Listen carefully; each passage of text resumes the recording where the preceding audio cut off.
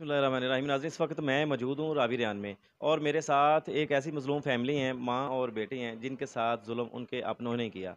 ये इनके साथ मसला कुछ ऐसा हुआ कि जो इनकी अपनी कज़न है, इनके बारे में बहुदा अल्फाज इस्तेमाल करती हैं, लोगों में इनके जो अपने क्लिप जो है वो वायरल करती हैं, अपने दोस्तों को सेंड करती हैं कि ये जो मदीहा है, ये ऐसी है, ये वैसी है, इसकी माँ वैसी है। अलमिया नाजरीन, ये है कि ये इनके सर पे बाप का सया नहीं है, उनके सर पे अब उनके मियाँ का साया नहीं है, हाथ नहीं है। और उन लोगों को पता है कि ये अकेली औरतें हैं, बस इनके घर में बच्चे हैं, इनके साथ कुछ चलने वाला नहीं है तो इनके साथ जो है कि वो जुल्म का पहाड़ डाल दिया गया। मसला कुछ इस तरह पेश आया कि इनके ख़िलाफ़ जब उन्होंने अपनी बेहुदा ज़बान इस्तेमाल की नाजिन मैं वो क्लिप यहाँ वीडियो में मेंशन नहीं कर सकता। वो मेरे कान नहीं सुन सकते, आपके कान कैसे सुनेंगे? जो जैसी उनकी वॉइस थी, जो उन्होंने लोगों में वायरल की हैं, लोगों को सुनाई हैं, इनके रिलेटिव्स को सुनाई हैं, इनके हस्बैंड को सुनाई हैं कि इनको जो डिवोर्स हो जाए या इनका घर भी उजड़ जाए, ये लोगों में बदनाम हो जाए। जब ये उनके घर पूछ, अचानक रास्ते में मिलती हैं, वो किसी के घर गई हैं, ये भी अचानक बाज़ार से उनको मिलती हैं कि आप मेरे ख़िलाफ़ ऐसी ज़ुबान इस्तेमाल क्यों करती हो? तो फिर उसने कहा जी जो तुमने करना है कर लो मैं तो ऐसा ही करूँगी। जी अस्सलाम वालेकुम। वालेकुम क्या नाम है आपका? मदीहा। मदीहा आप बताओ हमारे नाजरीन को आपके साथ क्या हुआ? मैं यानी कि अचानक से गली में गई ना अपनी दोस्त को मिलने तो वो भी अपनी दोस्त के घर से बाहर निकली है। कौन निकली है? मेरी मामू की बेटी। क्या नाम है उसका? इकरा। अच्छा वो आपके सगे मामू की हाँ, बेटी मेरे बड़, माम, बड़े मामू की बेटी है ठीक है। तो मैंने उसको पूछा कि तुम फ़ोन करके नानों को गालियाँ क्यों निकालती हो बदतमीज़ी करती हो? तो तुम्हें जो अगर कोई मसला है तो तुम मुझे बोलो ठीक है? हमारी पहले भी लड़ाई हो चुकी है वो अभी ख़त्म हुए दो तीन महीने और तुमने नई माशे फिर से शुरू कर दी हैं। तुम क्या चाहती हो कि मेरा घर ना बसे ठीक है? तो आगे से गालियाँ निकालनी शुरू होगी मुझे। फिर उसने गालियाँ निकाली मैंने सब्ज़ियाँ पकड़ी थी सब्ज़ियाँ भी मैं रखने लगी हूँ उसने मेरे मुँह पे थप्पड़ मारा। थप्पड़ मारा तो मैं बाज़ार में ही? हाँ बाज़ार में ही। जो साथ मेरी दोस्त थी तो वो दरवाज़ा खड़का रही थी मेरी दोस्त का जिसके घर हमने जाना था। तो वो यानी कि उसको हटाने लगी है तो उसकी बेटी भाग के जाके उसकी दोस्त को बुला के लिए जिधर उन्होंने अपनी बहन का रिश्ता किया क्या नाम उसकी दोस्त का? उसकी दोस्त का नाम फहमीदा है। अच्छा। तो वो आई है उसका फहमीदा आई और फहमीदा का बेटा है जो अली है। हाँ। उसने मेरा हाथ पकड़ लिया हाँ। मोबाइल पकड़ लिया। हाँ। तो मैंने कहा तुम मेरा हाथ छोड़ो ठीक है? मैं अपनी कज़न से बात कर रही हूँ तुमसे बात नहीं कर रही। तो उसने मुझे धक्का दिया है तो उसकी दोस्त ने मुझे थप्पड़ मारा ना। फिर उसने जब मारा मैंने भी उसको मारा ना। ऐसे ही यानी कि गली वाले आ गए उन्होंने छुड़वा दिया।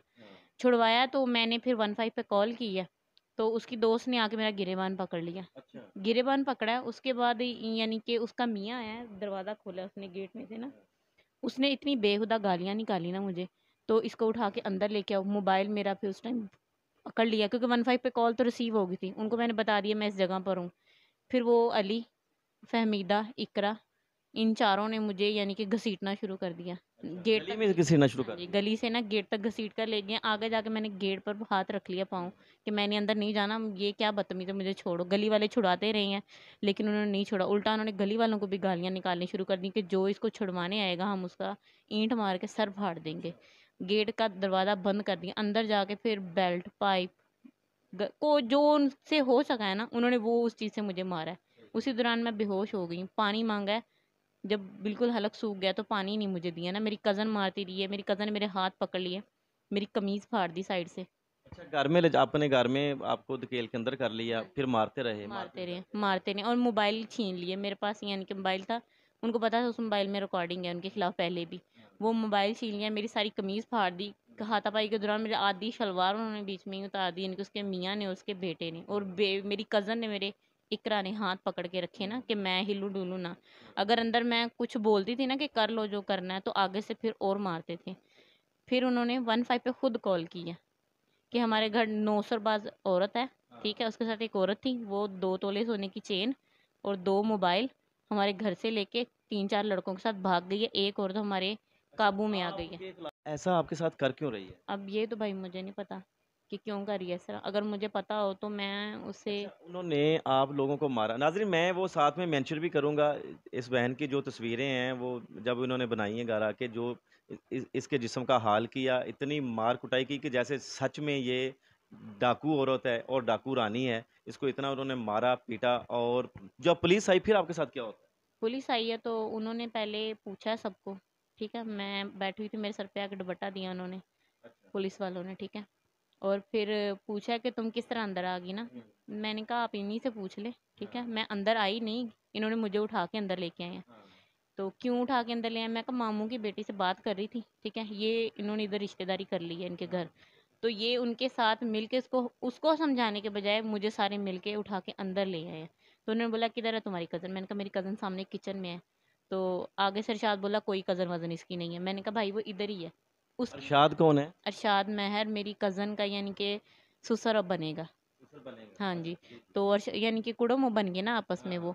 तो वो उसका यानी कि अरशा अली महर का बाप है फहमीदा का हस्बैंड है। और अरशाद महर ने इकरा को अपनी बहन बनाया हुआ रिश्ते में। तो आपस में उनकी रिश्तेदारी हो रही फिर उन्होंने आवाज़ लगाई है कि बाहर आओ आप कौन है? तो वो फिर बाहर आई है तो आगे से उसने कहा नहीं नहीं मैं इसको ये जानती नहीं मैं कही मेरे मामू की बेटी है ये गाँव में रहती है सिर्फ़ इसी से बात करी थी उसी दौरान हाथापाई शुरू हो गई है। तो इन्होंने मैका उठा के मुझे अंदर ले हैं तो फिर उन्होंने उनसे पता नहीं क्या बात की है क्या नहीं हथकड़ियाँ मेरे लिए लेके आप घर कैसे आई?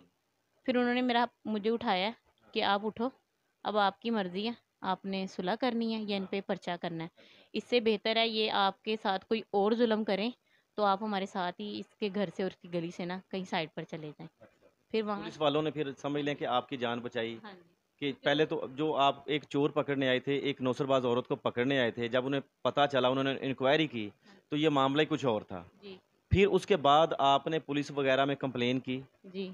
मैंने यहाँ इनके घर से गली से बाहर आ गई उनकी गली से भी वो मुझे बाहर ले आए ना कि आप गली में ना खड़ा हो अभी यहाँ इनकी इतनी जुल्म कर ठीक हो गया सारा मामला लेकिन आपने थाना में जाके पुलिस में कंप्लेन की पुलिस का रवैया आपके साथ कैसा है? पुलिस आपकी सुन रही है कि नहीं सुन रही? नहीं सुन रही। मैंने वन फाइव पे दोबारा से कॉल की। पूरा एक घंटा गली में बैठी रही फिर वो आए हैं तो आई आए हैं तो बोलते हैं हमें ये वकूआ नहीं लगता। आप फ़रोज़ वाला थाने जाएँ ठीक है? वहाँ गई हूँ वहाँ पूरा आधा घंटा पौना बैठी रही हूँ कोई कंप्लेन नहीं लिख रहा था मेरी ठीक है? फिर बड़ी मुश्किलों से उतने में मेरे मियाँ आ गए। उन्होंने कंप्लेन लिखवाई। कंप्लेन लिखवाई लिखवाई है तो वो फिर उस टाइम पे एफ़ यानी कि हुई नहीं ना तो लिख के रख ली उन्होंने। सुबह गए हैं दोबारा कंप्लेन करवाई है और फिर यानी कि वो मुझे पता चला कि आपके खिलाफ दरख्वास्त हो गई है। यानी कि उन्होंने मेरे खिलाफ डकैती का पर्चा करवा दिया ना। डकैती का पर्चा करवा दिया आपके पास या दरख्वास्त दे दी? दरख्वास्त ये दे दी जो भी ज़ाहिर है मैं उधर गई तो है नहीं मुझे नहीं पता क्या करवाया क्योंकि मैं जब गई थी उन्होंने ये कहा था कि उन्होंने भी आपके खिलाफ दरख्वास्त दी और मेडिकल करवाया ये नाजरीन, देखिए कि इसी को, इस वैन को मारा जाता है, अपने घर में उठा के लेके जाते हैं, मारते हैं, पीटते हैं, फिर उसके बाद चोरी का जो इल्ज़ाम लगा देते हैं, वो हैं कौन? वो अपने ही हैं। अपने वो होते हैं नाजरीन, कि जिन्होंने सर पे दुपट्टा देना होता है बहन बेटियों के, और वो आप, कैसे अपने हैं कि जो अपनी ही बहन बेटियों के सर से दुपट्टे उतारने के चक्कर में है? नाजरीन हमारे साथ जो मदीहा की वालदा हैं वो भी हमारे साथ बैठी हैं उनसे भी बात करते हैं कि वो इस मामले पे क्या कहती हैं। जी सलामकुम वालेकुम सलाम। आप इस मामले पे क्या कहती हैं? मैं इस मामले पे क्या बोलूँगी? ज़ाहिर मैं जब तक उधर गई हूँ ना तो अरशाद ने बाहर निकला है गालियाँ मुझे निकाली और ईंट उठाई है तो बहुत गंदी गालियाँ निकाली। आपको भी उन्होंने गंदी गालियाँ कहता था मेरा दरवाज़ा नहीं खड़काना अब तुम्हारी बेटी पे मैं ना डकैती का पर्चा करवाऊँगा तो अंदर अभी पुलिस आएगी तो इसको लेके जाएगी। ठीक है आप अपने भाई के बारे में क्या कहेंगे? ज़ाहिर है वो आपके भाई की बेटी है आपकी भतीजी है जिसने ये सारा ड्रामा रचाया हुआ है। भाई मेरा क्या करेगा? भाई मेरा तो बहुत अच्छा है लेकिन मेरी बे, बे, जो भतीजी है ना वो मेरे भाई की बात नहीं मानती। ठीक है तो उसे बड़ा समझाया कि इन बातों से मुड़ जाओ घर उजड़ जाएगा लेकिन वो बात ही नहीं मानती। फिर अब आप क्या चाहती हैं? अब क्या चाहती हूँ, ज़ाहिर एक छः सात दिन हो गए हैं, पुलिस के पास जा रहे हैं बार बार वो हमारी बात ही नहीं सुन रहे हैं तो बात सीधे मुँह नहीं कर रहे हैं तो हम अब क्या करें, हम, हमारे पास तो कोई हाल मैं गुजारिश करूँगा नाजरीन के D P O Sheikhupura Ghulam Mubashar Maken sahib के आगे कि इन माँ बेटियों की फरियाद जो है वो सुनी जाए, ताकि कानून की बालादस्ती हो और कानून का बोलबाला हो। ज़ाहिर है कि इन माँ बेटियों को इंसाफ मिलना चाहिए। मैं ये नहीं कहता कि इनकी तरफदारी हो। हम ये चाहते हैं कि फ़ैसला मेरिट पे हो। उनको भी सुना जाए, इनको भी सुना जाए, जो गलत हो, वो वाकई जो है, वो सज़ा का उसे सज़ा देनी चाहिए और जो मज़लूम हैं, उनके साथ इंसाफ होना चाहिए कि ताकि कानून के बारे में जो हमारे ख्याल हैं, जो हमारे रवैये हैं, वो बहुत अच्छे तरीके से जो सामने आ सकें। इसी के साथ आपने होस्ट मियाँ रियाज को इजाज़त दीजिए, कैमरामैन समीर रहमान के साथ। अल्लाह हाफिज़।